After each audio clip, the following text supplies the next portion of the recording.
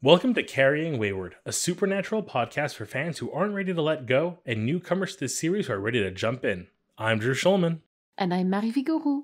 In this episode, we're diving into Supernatural Season 5, Episode 16 Dark Side of the Moon. Let's get this show on the road.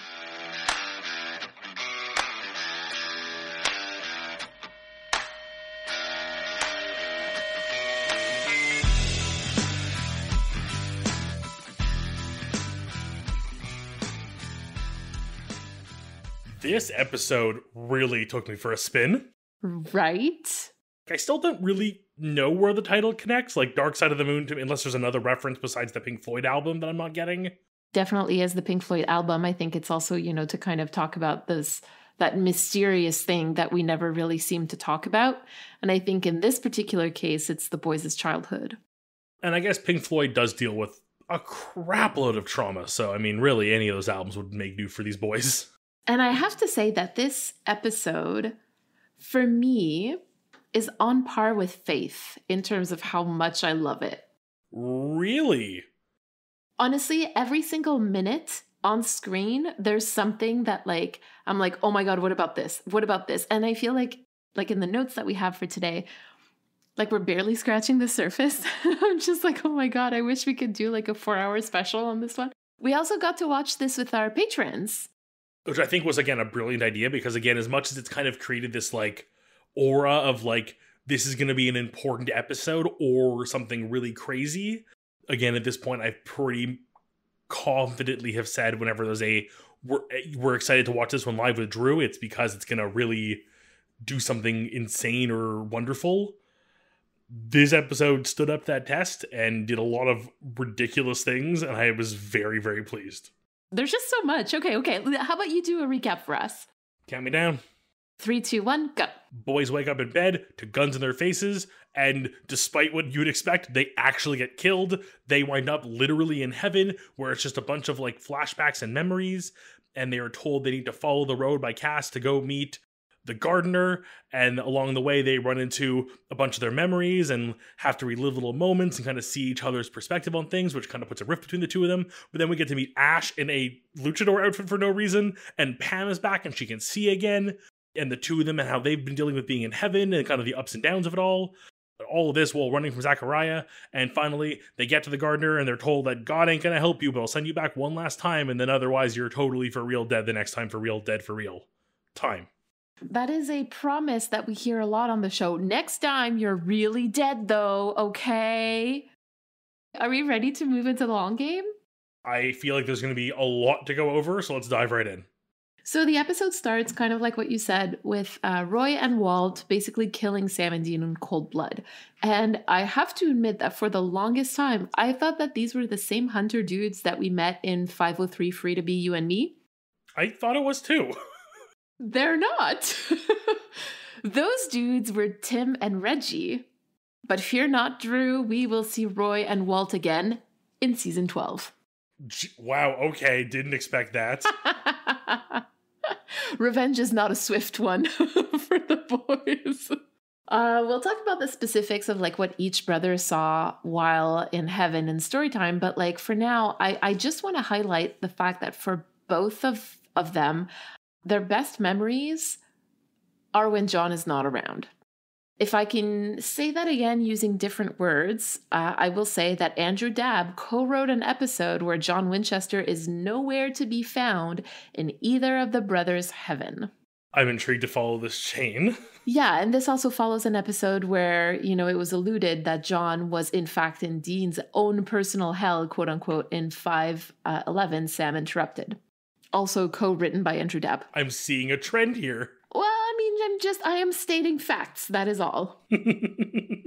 Walt's "We ain't the only hunters after you" is really interesting to me because like it brings back the whole if I didn't know you, I would want to hunt you thing.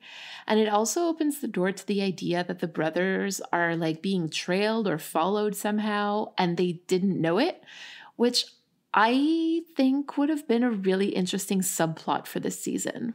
Yeah, the idea of these two like breaking in and catching them off guard, even if albeit while asleep, seems so unlikely given the way they've kind of like lived their lives up until now and continue to, it turns out. But it does make sense there would be a series of hunters who now just sort of see them collectively as something worth hunting. Exactly. And I'm just kind of like, why didn't we get to see this? I feel like it would have made this moment even more, or I don't know, I don't know, because I really like the element of surprise, I have to say. But there's also like, imagine if it had built up to this and then. Like, I could see the mini-sode where it follows the two of them hunting something, but we never reveal who the hunters are or what the hunted is. And that's always because they're using like, you know, odd camera angles or seen from behind or they're wearing hoods and then the, you, you assume it's Sam and Dean, and suddenly it's not Sam and Dean. Who are they hunting? Sam and Dean. Like it could have been a really cool establishing. Yeah, I mean, maybe they were telling themselves like, and when I say they, I'm like the the creators of the show were like, oh, but we've already done this with Gordon, so so maybe that's why. But like, I don't know. I just think that that would have been like a really cool moment. Dean uses the catchphrase, "Let's get this show on the road." stole our line in a live watch. I loved it. Dean also has really internalized the idea that like Michael and Lucifer will inevitably bring him and Sam back for their own purposes. And like we've talked about this earlier in the season, but now now in this case it works to Dean's advantage, right? Like when I come back, like imagine you're about to kill someone. I mean, not that I imagine that for myself any regularly in any way shape or form, but like imagine, you know, like, oh, when I come back, like, okay, dude, like, what are you saying? Which is why, like, when you said, like, oh, we're gonna see these two bumble, these two hunters again, I was like, oh my god, this is gonna be the greatest, like, like, oh my god, they're alive moment. But like after that many seasons, like, I'm sure they've gotten a win that they're back. This is also the second time that we hear knocking on heaven's door so far on Supernatural. Remind me where the first time we hear it is. It was in 213 Houses of the Holy when uh, Dean tells Sam that maybe what he saw, and I'm choosing my words, when he saw a man getting impaled in a freak accident, maybe that was God's will. Oh, right, yes. One of the very first things that happens in heaven is that Cass finds Dean. You know, he finds a way to find him. And we don't see Cass. Like, Misha Collins is not like physically on set uh, he speaks through the Impala radio, but he does find him. Finds Dean right away using Dean's most favorite thing, and then uses said thing to communicate with his favorite thing. Sam doesn't believe he belongs in heaven, and I think that this is really important in understanding Sam this season. It also makes me wonder if he thinks that there's any way for him to atone for what he's done. We find out that John and Mary's relationship was not perfect. Uh, in fact, it was actually on the rocks at one point, and to quote Dean, the relationship was only perfect after she died. Oh, God, that was a hard line to hear. Because when you idealize somebody like that, you forget about their flaws. And like we had never really talked about, or we had never been allowed to really discuss and learn about Mary's flaws. And we're sort of like in that moment now where we can we now have an image of Mary more than we did the first few times she was brought up. We've now twice gone back in time to meet her and see her and kind of deal with her as a character and not just a concept anymore. Dean's Axis Mundi is a road. So, a quick reminder the Axis Mundi is a road that goes, or like a trail of some sort that goes through heaven. And for Dean, it's a road. And I think that this is really important, but I don't want to elaborate too much on that before the Winchesters is over because I have a theory about it and I just, I don't want to. Yeah, there you go. I'm so incredibly intrigued because, to my knowledge, you haven't been watching the Winchesters, but I'm sure you've absorbed cultural osmosis at this point. Precisely. Like, I've gotten really little from it so far. I don't think I have anything contextually other than, like, John is aware of demons this time when he shouldn't be. Well, there you go. That's kind of why I'm thinking, like, I have a I have I have a theory. Ash tells them that this isn't the first time that they've been to heaven, which we know. Yeah, but I'm also just intrigued to know how that works because like we know they've obviously like had you know close encounters and they've been considered dead for a while before. But does that mean that like Ash saw Dean in heaven multiple times every single Tuesday in a mystery spot? like the day resets, but is he still seeing Dean in heaven and being like, "Here's a beer. We got like 30 seconds before the day resets. Cheers. How you doing? Have a great day, Casey. In 20 minutes." I would caution you against like pulling too hard on those threads. I just I just want to see like the the the fanfic of like Ash for a whole day just seeing Dean pop up every few minutes and being like, what is going on? Imagine how confused Dean is because his brother is basically like speaking in tongues and then he sees Ash was like, again?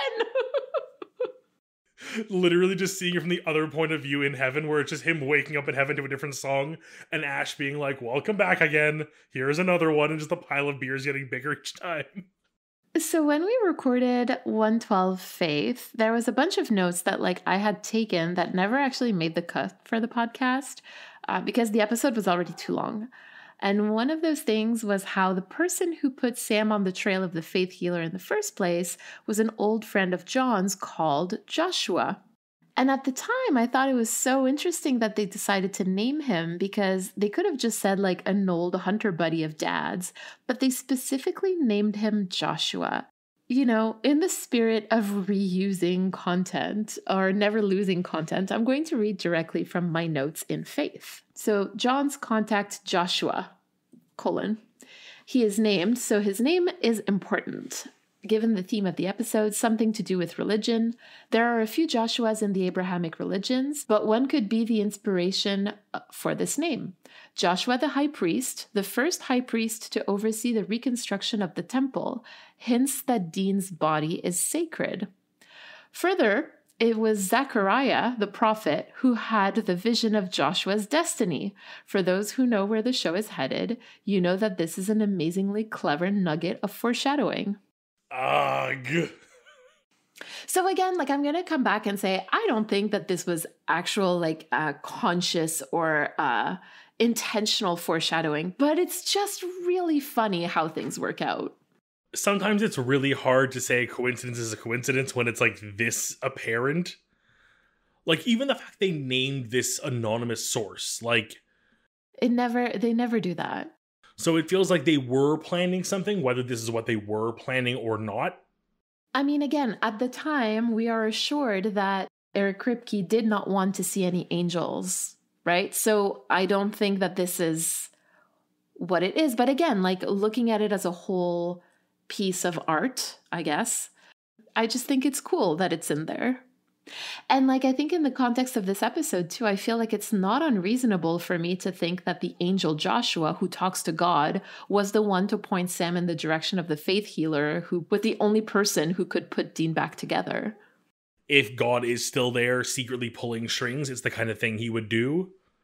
Like Joshua, just call the boy, say you're a friend of John's and you know where he can get healed. Just like I've run out of ideas, just call him. I also just imagine God sitting there like frustrated, being like, "Okay, how do I trick them into believing this now?" Um, I don't know. Uh, just I give up. Call them. I'm tired. I'm lazy. So in 503, Free to Be to You and Me, Raphael told uh, Dean and Cass that God is dead, right? We remember that. It was very dramatic. And here we learned that God isn't dead. He knows about the apocalypse and just doesn't want to get involved uh, leading to one of the best lines of the episode from Dean, which is Forget it, just another deadbeat dad with a bunch of excuses, right? I'm used to that. I'll muddle through. Something like I know we've had a lot of moments of Dean like realizing how bad John is, but having him like just blatantly say it out loud, reassuring isn't the word, but it like feels good to know that he's finally figured it out. Yeah, and I think that he's still very much on the way to that. Like, and I have some thoughts about that in story time. Like, I think that this is just the beginning for him in terms of learning, like, how just how bad John really was. Like, I think he's seeing the big stuff, but he's not seeing the implications of those big things, like the effects that it really had on him and on Sam. And I think that this episode, in a way, is about like looking at that, like exploding those things and putting them out in the open. Cass is absolutely devastated to hear that God won't intervene. He has spent so much time, like his entire arc this season, whenever he wasn't directly with the boys, was let me go find God because he's the only one who can fix this.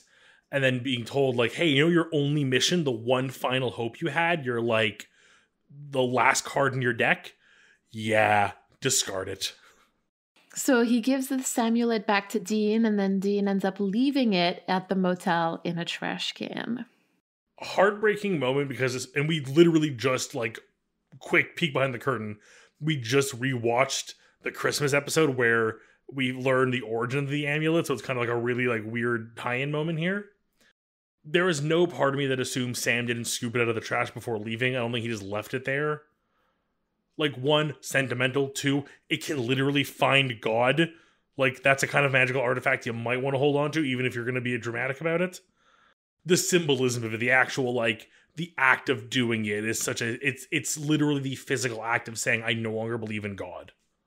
I I will go a step further in terms of like what it means for the brothers. I think it means like leaving because Sam intended for this gift to go to John. And he gave it to Dean because Dean was his father figure in that moment. And if we're being honest, not just in that moment, but like throughout probably most of his childhood and teenage years, right? And I think that the leaving behind of the Samulet is in part Dean saying, like, this was never up to me to do. It was never my place to parent you. And Sam to accept, like, it was never your place to parent me either. My most optimistic interpretation of that moment is that they're leaving behind part of their toxic well they're just their toxic relationship to each other because that's what it has become right?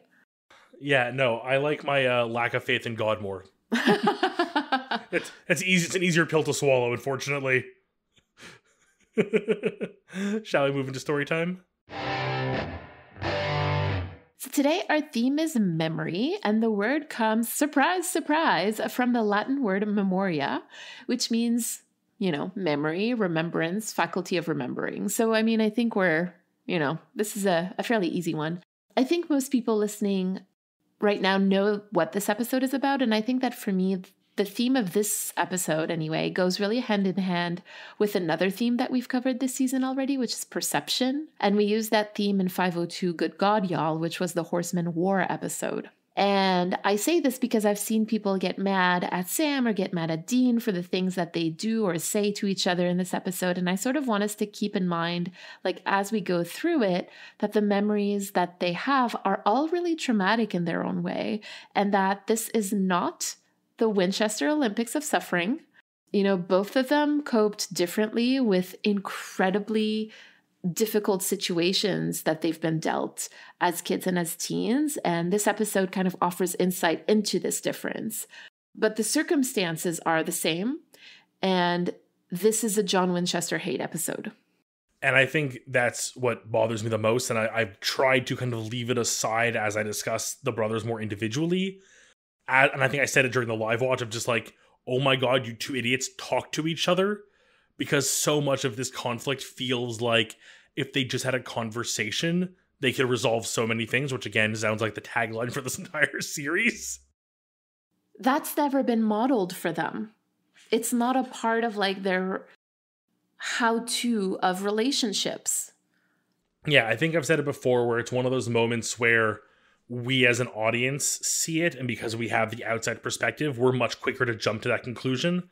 But we've probably all been in that scenario too where we were like upset by something and instead of having the rational okay i'm going to stop reacting and wait for you to explain things to me and then i'll reassess the situation you just go off base instincts because we're emotional creatures and exactly. And they've never talked about this before it's the first time or at least we don't that we know of that we've seen. So like it's very whew, very present.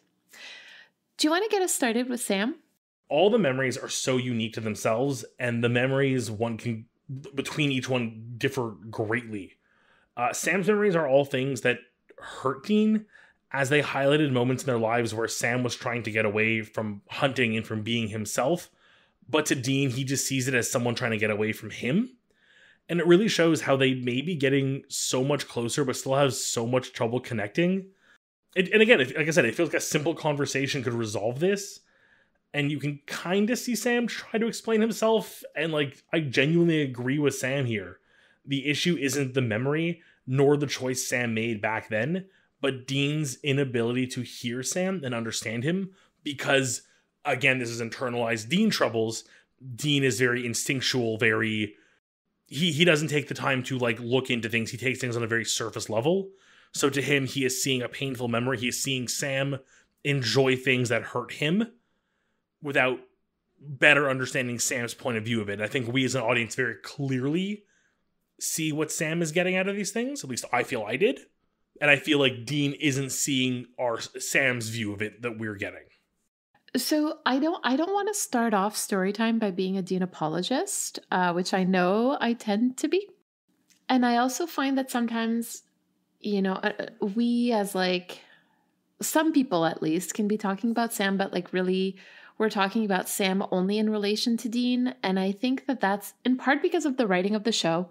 Uh, that's a can of worms for another day. So if I if I can, I, I really want to take a moment to focus on Sam, and then I'll respond to what you said about Dean. In this episode, we learn that Sam's best memories, like you said, are the ones where he's away from the toxicity of his family, which for him is John and Dean. And I know that, like for Dean and for a lot of people who love Dean, like myself, this is a really hard thing to learn. But let me put it this way the fact that Dean did the best that he could for Sam doesn't take away the fact that Sam was neglected and abused by John. And the fact that Sam couldn't wait to get away from that family dynamic also doesn't take away from the things that Dean did and had to do to try to shield him from some of it. Like those two realities can and do coexist. And I think that that's what this episode is really about. Like it's about the clash of those two perspectives on common memories you would think that people who have lived the same moment would have like a similar recollection of it, but not always, and especially not for siblings. I think with both of them, I kind of do a little bit of back and forth because they are so intertwined with the way the memories are perceived. But for Sam, it really it it it feels like we're seeing like visions of Sam season one, where really he was just in the hunt to like finish it so we can go back to school and regular life and non-hunting life and we are seeing that wasn't a recent thing, that wasn't a recent development in Sam. He's always wanted this. You know, his earliest memory is going on a very regular date with a very regular girl at a very regular family dinner because he just wanted a regular life. He just wanted to belong, really. Can we really blame teen and preteen Sam for wanting to get away from a family situation where he's like, unhoused, living out of motels and his dad's car, left alone to starve for weeks at a time, changing schools every few months, and if he's lucky, because apparently sometimes it was every few weeks. And like with a with a dad who spent his Thanksgivings, quote, passed out on the couch. No matter how good Dean was at being like a brother parent, like it it it nothing can make that better weird example to pull here, but I'm thinking back to the movie Matilda of all things. Again, just because she had one good teacher who cared for her doesn't magically make the rest of her shitty life better. Like, yes, she had literally there. The entire point of that film is escaping the shittiness to go to that goodness. That's literally what Sam does here. Sam pulls a Matilda. And they also had weird psychic powers too, huh? Interesting. Like, while we're here though, because I'm going to I'm going to go there. Being accepted into college is usually a happy memory. Being accepted into Stanford is usually a very happy memory. And like sure, it's bittersweet for those of you who are like are not going to go with you, but like it's not usually like a terrible traumatic worst memory ever. Like what made that memory so terrible for Dean I don't think is the fact that Sam left. It was that John made it into the drama that he did, he told Sam, like, if you go, don't come back. And like, apparently they had this huge fight about it. And he's the one who raised those stakes, right? That was John, that wasn't Sam. Like, it didn't have to be this way, but John made it so. He's the reason why this memory is as traumatic as it is for Dean, not Sam. Again, to go back to the Dean for a moment here, it's the fact that he doesn't put that together the way we are and again emotionally charged traumatic moment understandably a little bit fuzzy brained you're right it's a hundred percent not the sam has left part which i mean hurts. It's the john made this a big thing that physically tore a family apart. Right and that's the thing like dean was t- what about like 22ish at the time when this would have happened? So he wasn't a kid anymore but I, you know, the thing is that like when you've heard your entire life somebody say like, look at what Sam is doing to this family. Look at what Sam is doing. It's his fault. Like, I don't know. I don't think that you can think properly when that happens. And it takes a really long time and to, to kind of like get away from that kind of thinking. And we'll we'll talk about that a bit more. But like it's he's only now starting to realize some of the things that his dad did to them as being terrible. He hasn't start like completely like untangling all of that other stuff. Well, since we're already talking about Dean, do you want to give us some uh, some other thoughts about Dean? I feel like we do that very often. We always get back to Dean anyways. I, again, for me, that's part of it is like the writing of the show. But anyway, I'm not starting that now.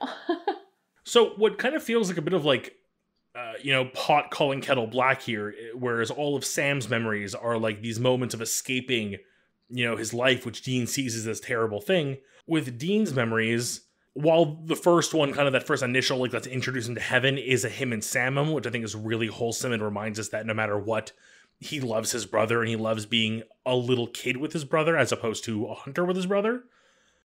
His big memory is a pre Sam memory with Mary, and not just with Mary, but without John. And I think we've kind of hit that one on the nail, that, that nail in the head several times already now. It just it shows what Dean longs for, and I think we've alluded to this even as far back as in Bugs, when he gets to enjoy a nice shower for the first time in forever.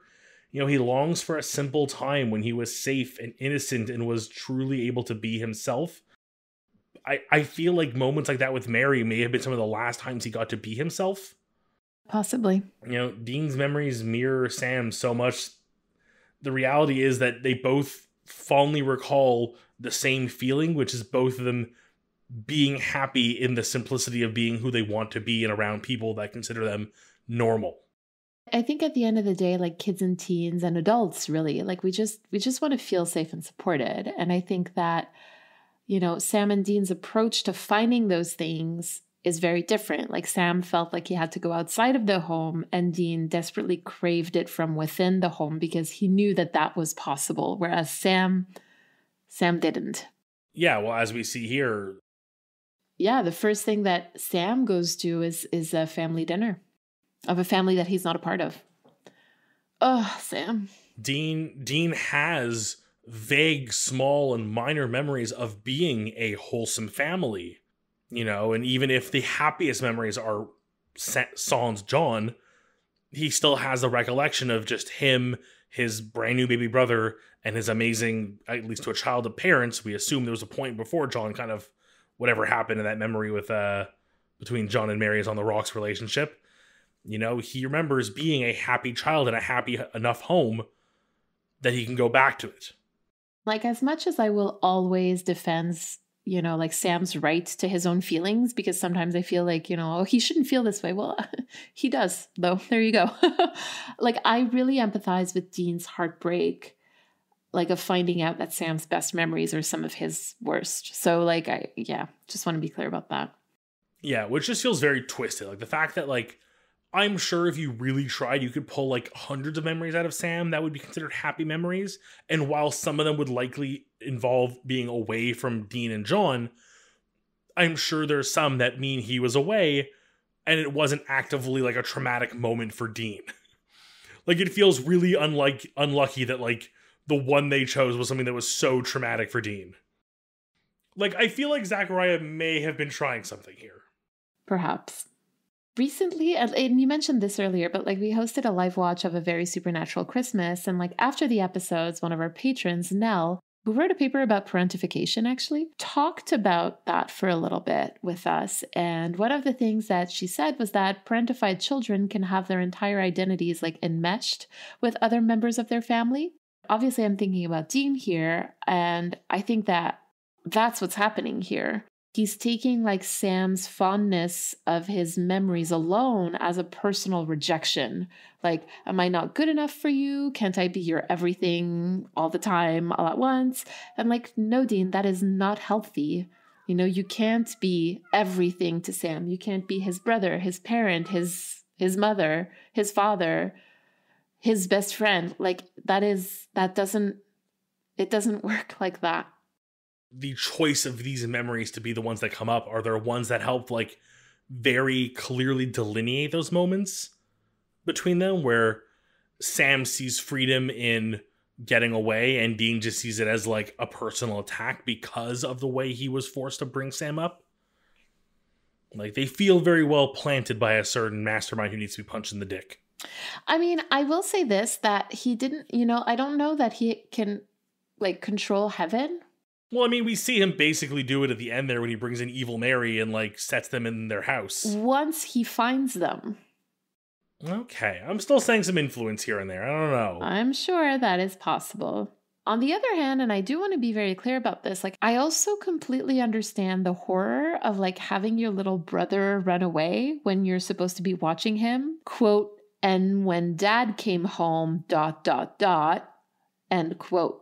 Like, I honestly don't want to think about what John did to Dean when he came home because, like, again, Sam Sam wasn't running away from Dean specifically. He was running away from John, and I doubt that Sam would have run away from Dean on Dean's watch if he'd had a well-adjusted, loving father. Everything keeps coming back to John, and I know that Dean takes it like personally because he feels responsible for Sam, but he should have never been responsible for Sam. Sam was not his responsibility. He was John's. I'm sorry, I'm very angry.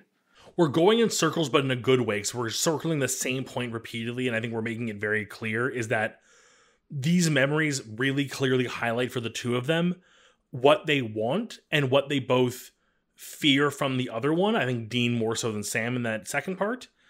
Of we really, you know, when it comes to Dean's memories, Sam is kind of just like, I'm so removed from these. But when it comes to Sam's memories, they are like almost direct. Dean feels they are direct attacks on him and who he is as a person. Mm-hmm. But that, I think that that's also the difference between Sam and Dean. Sam doesn't take it as a personal attack of being like, "Oh, that's your best memory, but I'm not even in it." And like I say this as like a Dean stan, right? So I, I just like I understand Dean's reaction, especially in the two the major scenario of the Sam running away one. It's again, it's it's to go back to my earlier statement a conversation could solve this, but that isn't a thing that either of them can do. And that's kind of the thing that I want to get to. Like, because at the end of the day like i i the one of the reasons why i relate to dean so much is because like i see him as having ptsd which i also have and like one of the things that's really hard is that in the moment when you're brought back to that exact situation where you felt so shitty and like you felt under attack you're going to react the same way that you did when you were under attack even though you are not in that situation anymore. And I feel like Dean is incapable at that moment to make the difference between a, an actual attack and a perceived attack. And that's something that I think folks who deal with that sort of, of disorder uh, have to put so much work into learning to unlearn. Um, and Dean hasn't done that work because he hasn't had the time to decompress ever in his life the dude won't have a conversation. I don't think a full on breakdown of his psyche to uh, learn how to correct his actions and like handle situations better is anywhere on his horizon, unfortunately. I feel for Dean, but the way that he is reacting in this moment is to me like indicative of the fact that like he is very much very wounded and hasn't done any work on himself yet to be able to heal from this and he will we'll see that in in future seasons like we'll see yeah we'll, we see him change a little bit and we see sam change also in and and realize a little bit more like the perspective of the other one but in that moment they're just not ready for that I also just want to briefly highlight that, like at four years old, Dean was already trying to emotionally take care of his mother. So to me, that really indicates that there were already problems in the home even before Mary died. And that's also the moment that made Sam go, like, I just never realized how long you've been cleaning up dad's messes. And for me, that is like a path, like just one step closer towards Sam, like realizing how much pressure Dean has felt to step up for his for his father's failures and to shield Sam from from what John had done because he's trying to shield his mother from from the harm of John. Anyway, that single scene and those very few lines do so much to craft so much emotion in this. Do we want to look at Pam and Ash real quick? We do want to talk about Pam and Ash, sure. Yeah, Pam and Ash play two sides of a coin in this episode. well, neither really interacts with like the theme in any way that I can really see. Like their idea of memory isn't like huge. They both do a lot to try and shape the story this week. You know, Ash is happy in heaven, uh, but understands the afterlife being cool and awesome isn't a reason to like disregard Earth and the living. Like he's actively working to help the brothers and like make a difference and be his own version of a weird Mexican wrestling superhero up there, which I love. I have so many headcanons about that. Pam is almost like trying to convince Dean to just give up and stay dead and stick with her in heaven. And I feel like this is like some kind of philosophical viewpoint that I need to get into more. I just can't my finger on it per se. Like there's some sort of like if you know there's an afterlife and you've achieved like this getting to heaven, which is the ultimate goal, do you just stop and end there or if you know you could go back and make things better do you like i'm not sure if there's a specific philosophical debate here or if there's like a i mean i don't know. I'm sure that probably in the field of theology there are people who talk about that but like i don't i'm not sure. if you know more please write in voicemail call us text us let us know tweet at us. I have a pager get me. And and i think i you know i'm gonna hop on your like potential um, conspiracy theory idea because like they only see Ash and Pam after Zachariah finds them. So it makes me wonder if they really are who they say they are, or if they're like a Zachariah tactic to get Dean to agree to say yes to Michael. And like that doesn't work and Zachariah like shows them like he ups the ante and shows them a fake Mary like just after this who tells Dean that she never loved him which I think I think you know whether or not we like Mary we can agree we can all agree that for the most part that is not true you know like at the very most base level common denominator like that is just not true yeah I feel like a good lie always has like a little like kernel of truth in the middle so like this is just a bad lie. Like Zachariah is like running out of moves here. He's like, "Oh, uh, your mom hates you." It's like, way to go, third grader trying to insult me. Like, what next? You're gonna say I have cooties? Like, fuck off. Punch in the dick, that guy. Punch in the dick. Let's move on to critical time. Yeah, so this episode was written by Andrew Dabb and Daniel Loflin and directed by Jeff Woolnough. What's in the Hunter's Journal this week? Let's crack it open and find out. I remember how nice it was to see old friends, remembering hunts long since past, putting aside old arguments. We cheered to good fortune and good health, as a few of them chuckled. Like every time it ended as I woke, alone in the motel, I'd heard stories of heaven, and seeing my old buddies and being able to keep them this time was my heaven. The nights I dreamt of them, while bittersweet, were a welcome change to the nightmares I more regularly faced. The days after usually left me feeling much better, even happy at times.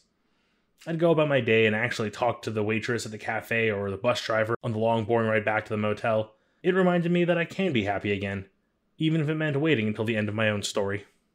Oh my. Just a little something on the topic of the idea of heaven and it being like a happy ending. You you gotta you gotta you gotta make it there at your own pace. Oh man. Okay. Any thoughts you want to share with us this week? Do you want to hear my theory about what the fight between John and Mary was about? Yes, please, more than anything, go on, please tell me. In Dean's memory, Mary says that John has two boys at home, and that means that Sam was born already.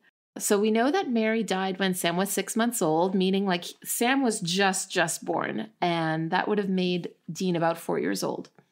Now, if we go back to the pilot, there's in the very first few minutes, like there's an interaction in Sam's bedroom between Mary and Azazel, who, like, we as the audience and Mary first think is John, where he tells her to go back to bed. And she kind of makes the face like, oh, okay.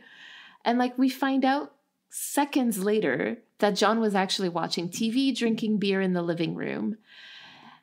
And so all of this together sort of makes me think that they were still dealing with this big fight when Mary died. Another piece of the puzzle is that Mary had never told John about her being a hunter. So my theory is that I think that John somehow found out about that and moved out.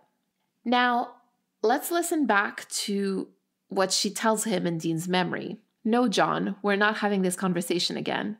Think about what? You've got two boys at home. Fine, then don't. There's nothing more to talk about. So, like, I know that there's lots of ways to potentially ex- explain this fight, but I I really think that this holds the road in terms of how like it fits within like the canon of the show. Damn, I love this theory. It makes so much sense, and again, even I think would add credence to the whole like John becoming a hunter after all this, and it like right away kind of following the demon train. And that's the thing. What I find really cool about this is that we get little nuggets in later seasons that sort of like not speak directly to this theory, but definitely like support it, add supporting beams to it, basically. I'll be very intrigued to get to their get to those when we do.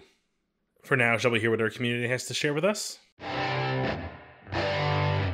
This week, we have a message from Nell. And before we listen to it, we want to remind you to send us a three minute voicemail. To respond to anything we discuss today, you can use the recording app on your phone and just email us the recording at carryingwayward at gmail.com. We also want to remind you that Drew and I will be answering the question Do you think Sam and Dean have a shared heaven for our Roadhouse patrons and Ko-Fi supporters on our Impala Talk? Hey, Carrying Wayward, it's Nell again, here to talk about Dean and Sam's relationship to food. Um, so, Sam, we know, likes to eat healthy and chooses healthy options. That sort of becomes a running joke in the show almost that, like, Sam will go for the salad.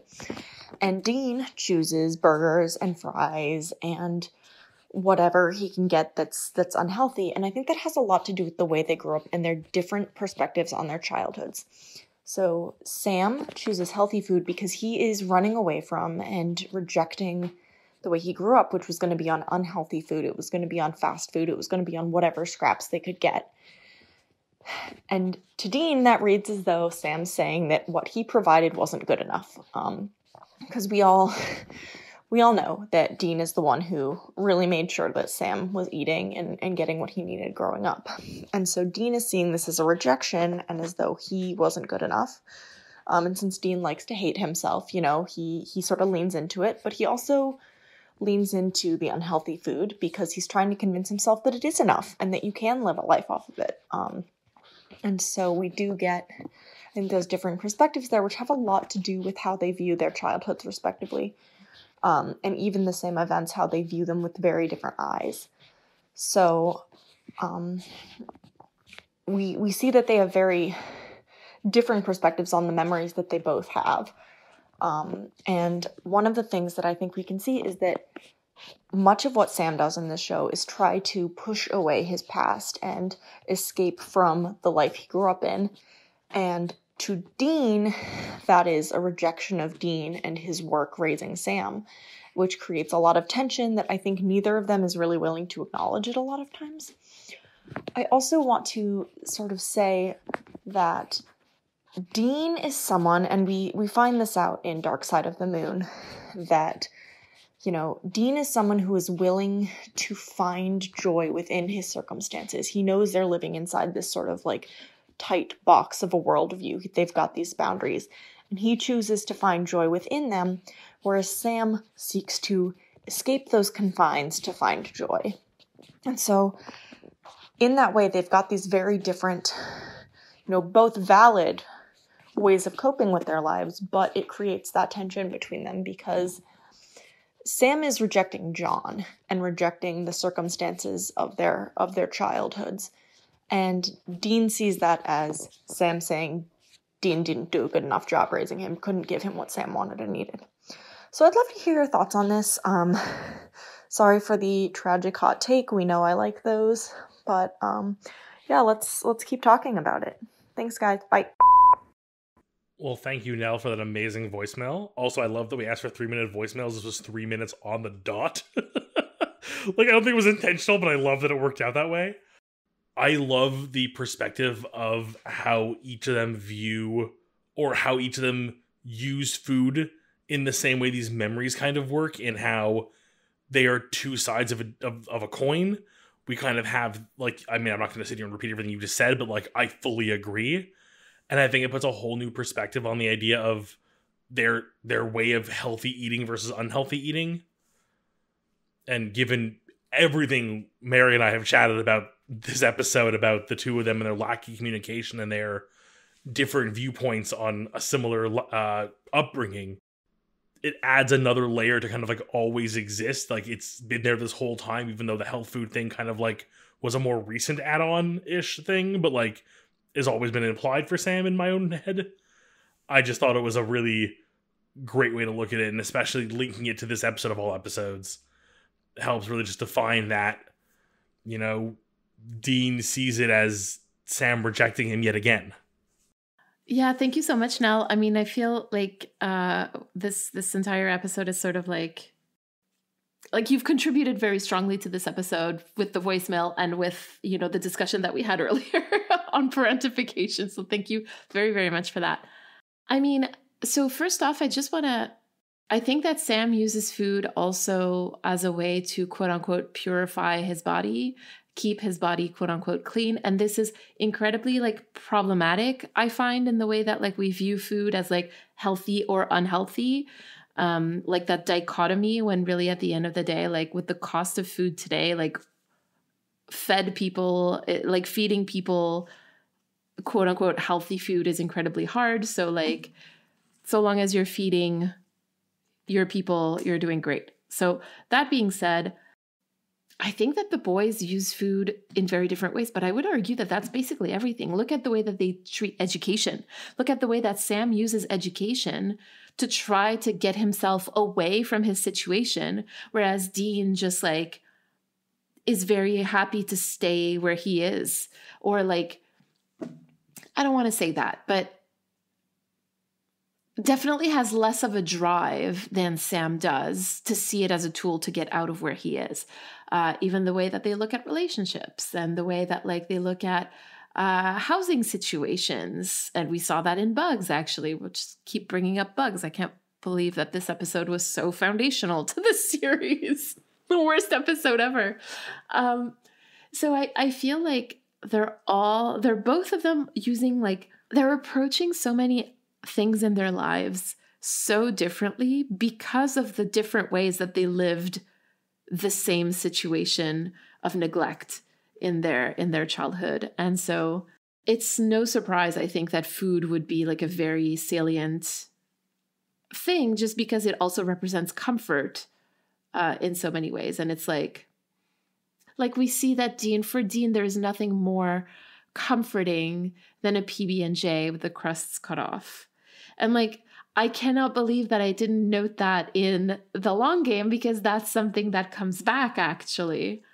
I'm sort of mad that I didn't note it there. So there you go. Now it's noted. And yeah, I hope that like our entire conversation today sort of helped answer this question that you had.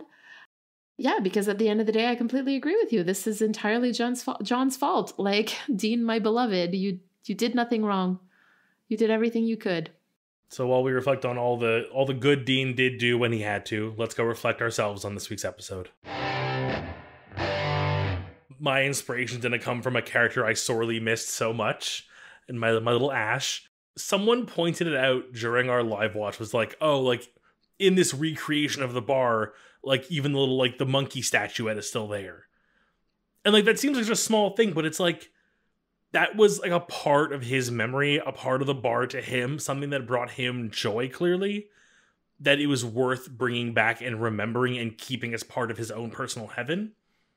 So, all that to say, I want to remember to look for the little things that make me happy in life and appreciate them while I can and not have them taken away from me or like only realize it too late.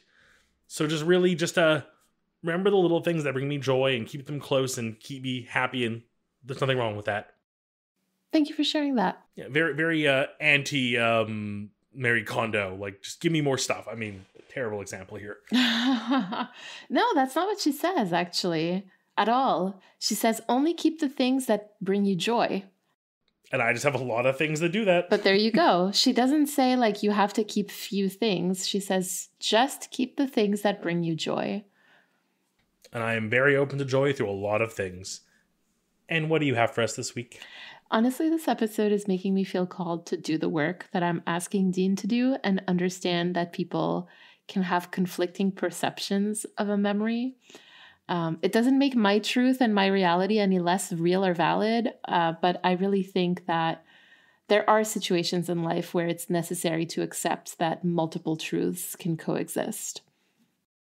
I, I won't ask to dig any deeper because it sounds very personal, and if you're not looking to share, that's fine. But it does sound like a very powerful and important stance to take. Thank you.